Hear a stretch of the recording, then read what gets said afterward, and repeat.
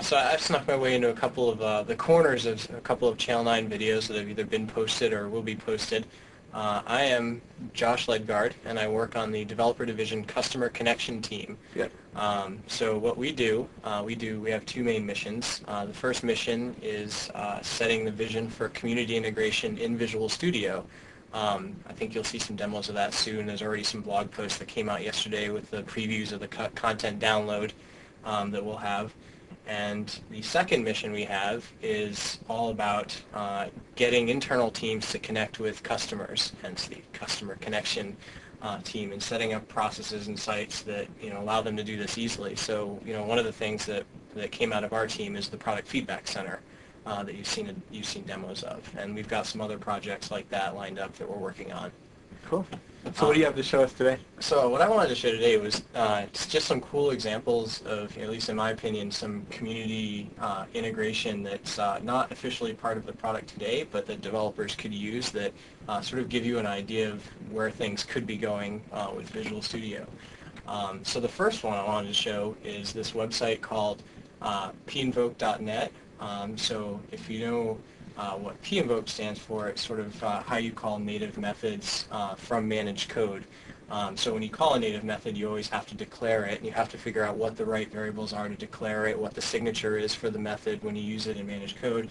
And sometimes that's a pain. Sometimes you can find the right uh, signature. Sometimes you can't. Sometimes you guess. Sometimes you're wrong. Sometimes it doesn't work.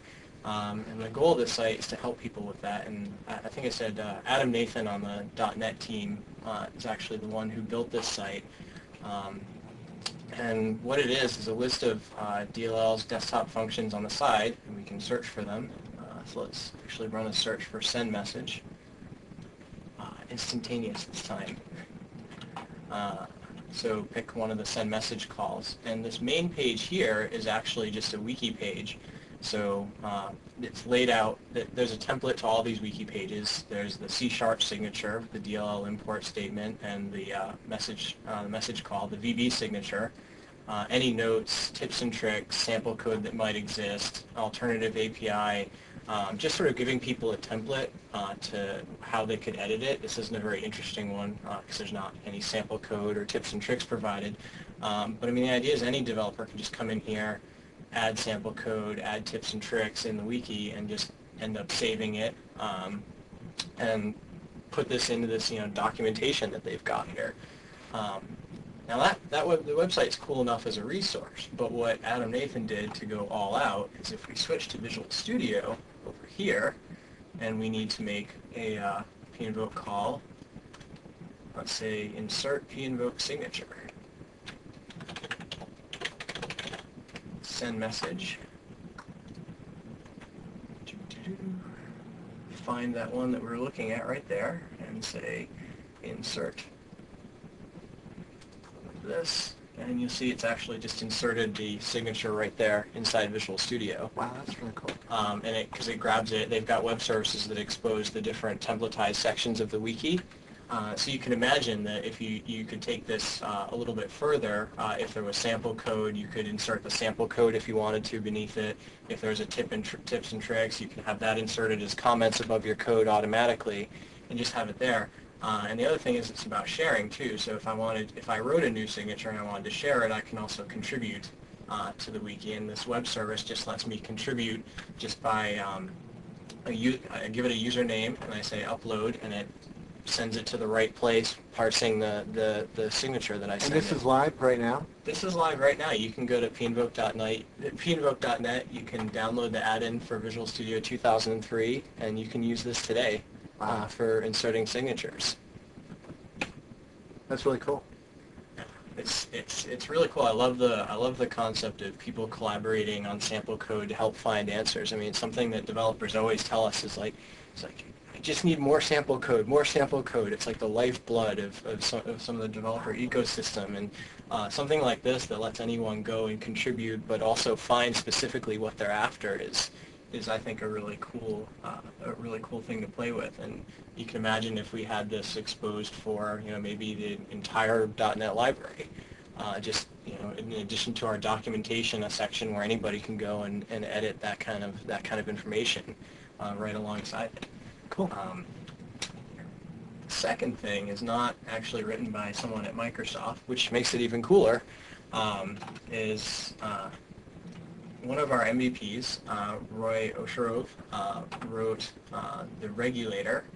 I don't know if you've uh, seen this tool. So the regulator is a tool for editing, writing regular expressions. Okay. Um, I found uh, that there's not very good support in Visual Studio today for this type of stuff, and I, I needed to write a regular expression um, for a little project I was working on, and I was just needed to break apart a URL. I knew nothing about uh, regular expressions. I didn't care to try and learn too much about regular expressions at the time because it's a pretty, uh, you can get in depth uh, with regular expressions.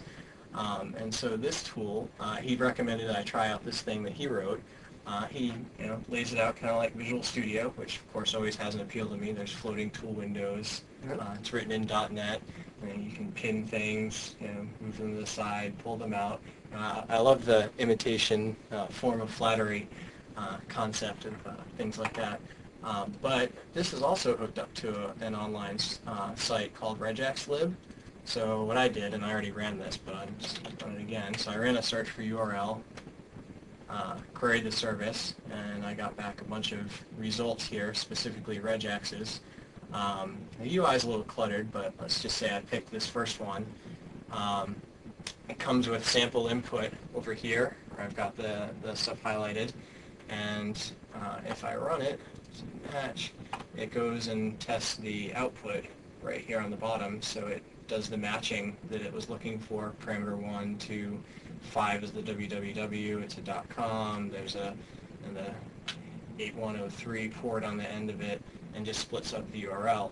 Um, that, I view this as very similar. Uh, the website's, uh, it's not a wiki, but people can upload their own regex files uh, to this web to regexlib. Uh, let's pull up that site. This is this is completely run by customers. It's out here today. You can search, find different regex files. They have ratings. They give the top contributors over here. They've got RSS feeds for recent patterns or recent comments that people leave about the about the regex uh, files that are there. Uh, all pretty cool stuff. All again in sort of that very specific. I need a, a regex thing that does foo. I search for it. I find the description. I can see ratings. Uh, and I can just try it out and play with it and put it in my code right away, That's really neat. which is really cool. Um, those are the, I mean, that, that's the type of app that, you know, really gets, gets uh, me excited. Kind of, this kind of stuff, especially by customers, is what made me uh, want to start the, the Power Toys blog, just to show that there's this whole world of customers out here doing really cool stuff with our, with our uh, platform and enabling developers to be more productive. Uh,